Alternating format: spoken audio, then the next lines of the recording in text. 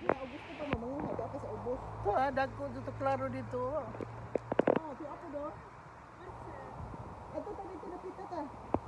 Mga ano yan guys, mga ano na, ti sibuyas?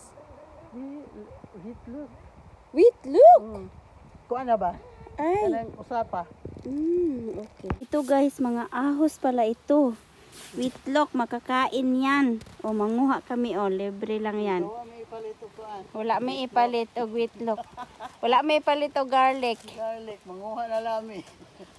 Talaga ang Pinay. Pag libre, hala, sige, kuha lang.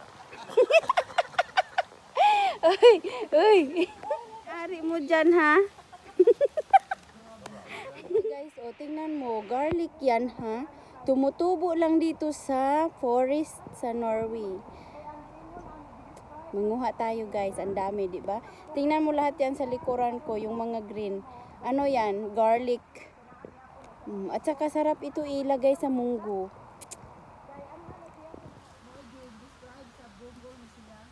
Yan, nangunguha sila dyan, oh. Mm. Eh, dili ka manguha eh.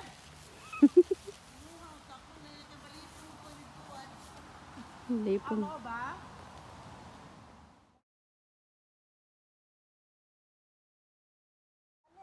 Ay, sa'yo na nila itong gipanguha? Ha?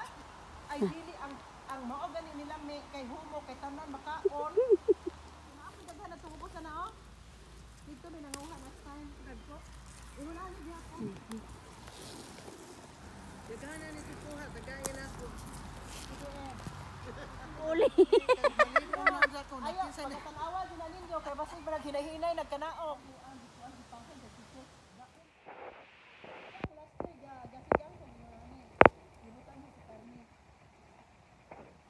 Yan.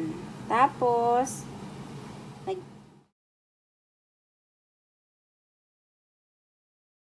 Yan. Dami kong nakuha na ramslök. Or kaya garlic, wild garlic dito sa Norway. O, ila- ilagay ko yan dito sa munggo ko. Yung aking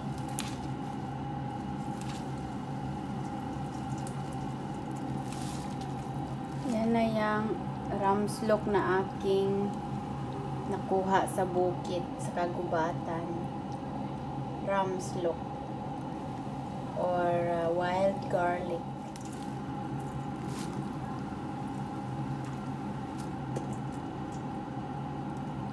Yan.